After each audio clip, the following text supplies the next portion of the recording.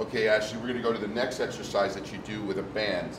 Uh, explain uh, what it is and what it does. Okay, this is a tighter, smaller resistance band here. We're going to be working our hip adductors, so you have that side glute area. Um, basically what I'm going to do is I'm going to step into this band, place it around my knees,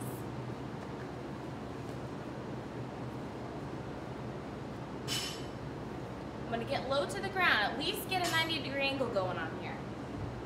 Stay low. Keep your toes facing forward. This exercise is harder than it looks. I'm going to walk it down for about 10 meters, then I'm going to bring it back. It's important that you go get both ways so you can hit, uh, hit both sides of your glutes. And I'm going to do this about three times.